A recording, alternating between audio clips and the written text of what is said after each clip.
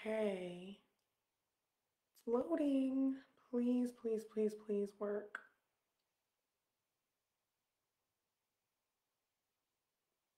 Still loading. Me just make sure.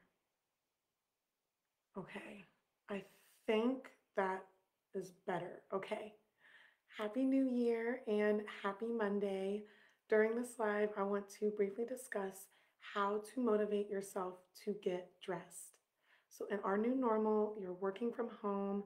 Some days you're on Zoom, some days you're not. Maybe you're still going into work in person on occasion. Like most of my clients, you may feel like, who's going to see me? Why bother getting dressed? And I notice, especially during January, we tend to feel bleh about our wardrobe and it's gray outside, the holidays are done, it's a new year, and we don't feel as inspired with our closet. So, I want to give you a few tips on how to motivate yourself to get dressed each day. But before we dive in, I wanted to give you a quick introduction. I'm Emmaline Chappell, and I'm a certified personal stylist.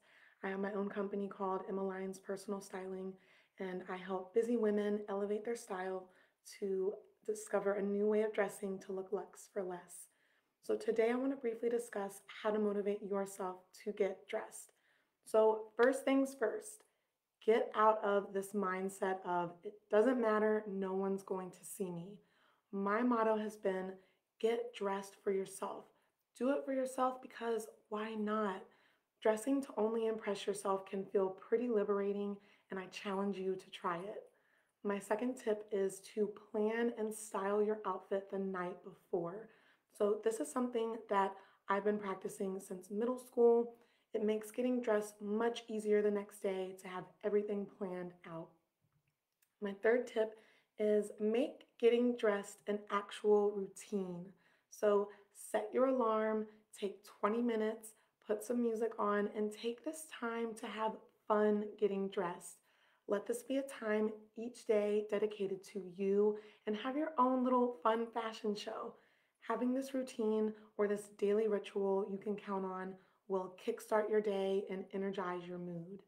So, my next few tips have to do with selecting pieces that will keep you motivated during your day.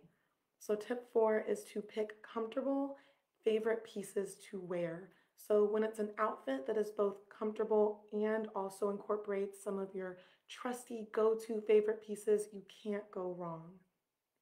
Tip five is set a day dedicated to a specific piece. So, maybe make Wednesdays your day that you wear dresses, or Fridays are your jean days. So I like to do this with my wardrobe because it helps me not take getting dressed so serious and embrace the fun of fashion. Tip six is pick an outfit or pieces that will evoke how you want to feel. So the night before, think about how you want to feel in the morning after getting dressed and let that guide your wardrobe choices. Maybe that's color or a blazer or a certain accessory. Get dressed keeping in mind how you want to feel. Getting dressed with intention shows yourself and the world that you're important by taking the time and the effort. You deserve to give yourself the attention and affirm to yourself that you deserve to look and feel good. Take it from me. I do this every day, no matter my schedule, whether I'm on Zoom or not, meeting with people in person, or solely working from home, just me, myself, and I.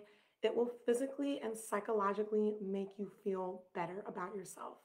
Look at getting dressed as a daily form of self care, because as busy women, we tend to let self care fall by the wayside, but getting dressed is a great form of self care.